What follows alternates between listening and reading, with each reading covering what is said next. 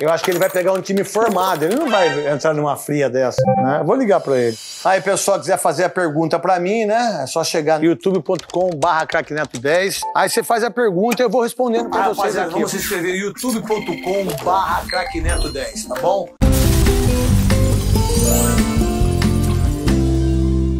Você acha que faltou você jogar na Europa? Na época que eu joguei, talvez. Eu acho que eu poderia ter jogado sim. Você é muito lenda, cara. Você foi foda. Acha que o Mundial 2000 é legal. O Corinthians foi, é, foi candidato, foi convidado, né? E foi campeão mundial em cima do Vasco e foi bem pra caramba. Tu acha que o Thiago Nunes vai... Eu acho que o Thiago Nunes é o próximo treinador do Grêmio. Acho que ele é bom treinador, mas ele teve um entendimento com quando ele chegou no Corinthians, que ele achava que ele era o Alain Delon, né? E aí ele viu que não era, que o buraco era mais embaixo. E ele é um nome muito forte. Eu acho que ele é um ótimo treinador. Ô, Thiago Nunes, você tá de sacanagem, Thiago Nunes? O que tá achando do Jô, ele tá sem condição física pra jogar, ele precisa ter entendimento disso. E o Luan não vai conseguir jogar, não tem força, não faz gols, tem potência muito fraca de chutes. Ele não vai, não- ele não vai conseguir jogar no Corinthians. Ele vai embora do Corinthians bilionário e o Corinthians vai se f... Mas o Luan tem 800 pau por mês.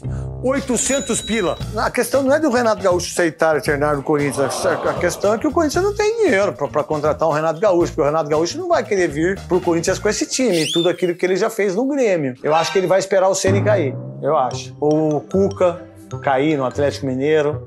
Eu acho que ele vai pegar um time formado, ele não vai entrar numa fria dessa, né? Eu vou ligar pra ele. Você não pegou metade das mulheres que o Renato Gaúcho pegou. Pronto, já falei. É, aí, aí, é, é, aí.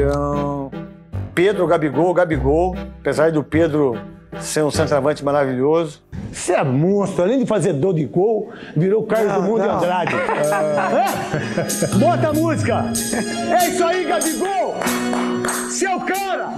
Defina a gestão do André Santos no Corinthians foi a maior decepção, decepção que existiu no Corinthians em mais de 100 anos e aonde a forma do poder fez com que o Corinthians ficasse numa situação melancólica, no fundo do poço, sem ter dinheiro para absolutamente nada.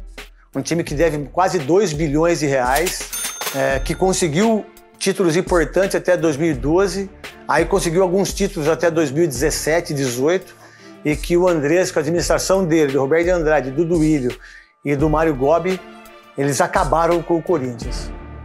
Mas eu vou ajeitar tudo isso. O Neto entendeu e eu também. Temos amizade de décadas e eu e ele não sabemos nos entender. Você pode ficar tranquilo, não precisa se preocupar não com a tua interpretação, que cada um tem a sua, mas ele tem a dele, eu tenho a minha e ele sabe que nós estamos se falando. Então tá tudo certo. Tá tudo bem. Mande pergunta, beleza.